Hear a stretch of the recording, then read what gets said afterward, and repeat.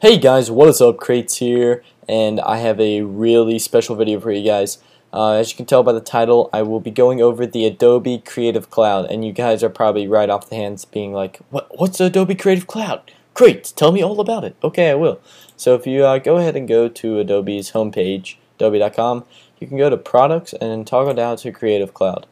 Basically, what this is, it allows you to access the CS6 um, Master Suite without having to pay the $2,500 up front. Um, but what I really like about this uh, plan, it's $49.90 per month if you pre-order it. I don't know if the price is going to change after. I would assume not. But if you pre-order it, it's 44 $49.99 months, so $50 a month, and you get every you get access for free downloads and free uninstallments and complete access to every Adobe CS6 application that's within the suite. So that excludes uh, Lightroom, but includes everything else, the popular, you know, uh, Illustrator, Photoshop, After Effects, um, the Flash Player, and um, actually I think I can pull up a list. I don't know. I'll, I'll try and find it while I'm ranting on, but um, basically you're paying six, $50 a month and you getting access to everything that's worth about $3,000. And if you want to, like, if you want to cancel the membership, I, I think you can. Um, but once you cancel the membership, of course, it's not going to let you really use the um, the software. And you also get um, there's different membership options. Like you can get the the full Creative Cloud for uh, fifty dollars per month, or you can get it month to month for like seventy five dollars, which means like you can cancel it anytime you want or you can get the like student and teacher edition. It's cheaper, blah blah blah. Um, and the annual, uh, the contracts go by annual. So uh, every year, uh, Adobe comes out with a new uh, suite anyway. So basically, you're paying six hundred dollars for the master collection for one year. That's the way I'm looking at it. So I, I, this is I'm really excited and uh, proud for somebody actually stepping up to the plate and um, finding a counter to all the torrenting. Uh, I know a lot of people watching this video aren't probably even going to do this, but you're just going to go torrent it. And basically what Adobe's trying to do is make it affordable for people to actually buy their full product and um, just make sure that uh, they're they're actually selling their product and not um, getting it leaked onto uh, sites like the Pirate Bay and and um, other things like that. And it's really great because uh, they get to um, uh, sell their products more instead of um, people going to torrent it. So all the um, this is all it comes with. I'll, I'll, go through real quick. So you get in the Creative Cloud, you get Photoshop Extended, which is it comes with uh, like 3D built-in programs, and the new Photoshop CS6 is so awesome, guys. If you have not seen any videos, go go check them out.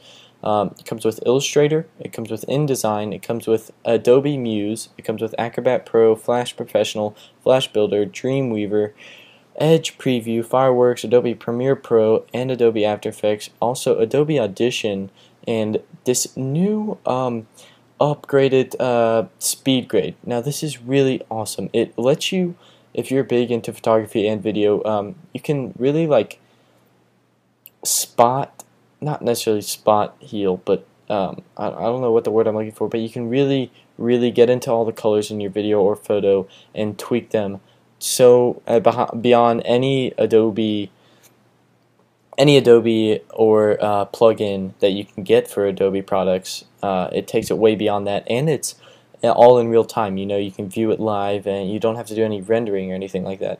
Um, it also comes with Bridge, and a media encoder, which is uh, standard across all platforms. Um, it also, I'm pretty sure I read somewhere that it gives you cloud storage, but it doesn't. It doesn't say how much cloud storage you get. So I would assume um, anywhere from a gigabyte to 10 gigabytes, somewhere in between there, and you're not gonna really be able to uh, do much with that because you're just you're just limited. But um, I'm basically going to assume that it's for you to just save your files to like uh, your uh, After Effects files or, or your Photoshop uh, PSDs. Um, but yeah, that's about it. If you guys were wondering what this was, this is a pretty good explanation, I think, in the way I look at it. If you pre-order it now, you can download it on May 11th and I am currently signed up to get that download. Um, but you can actually go ahead and download um, some of their products now. Um, I think as of today, actually, uh, you can get uh, Adobe CS6, After Effects CS6, uh, Photoshop. You can get all these programs right now, but I don't know why uh, they're waiting a few extra days for to release this Creative Cloud. And I actually already have Adobe After Effects, and um, stay subscribed and look forward to I'm going to tutorial about teaching you guys how to change everything from your After Effects CS5 to your After Effects CS6. And if any of you were wondering, I'm recording with ScreenFlow right now. Also, I will be doing an overview of After Effects CS6 like I did with CS5, and I'm going to be telling you guys the difference. Also, when I get Photoshop CS6 um, in this uh, Creative Cloud system, I will be doing uh, tutorials of that. So if you guys enjoyed this uh, little video about the Creative Cloud, I would really appreciate it if you guys could leave a comment telling me if you're going to get it, and uh, leave a like, guys. Uh, thanks so much for listening, and as always, I'll talk to you guys later. Peace out.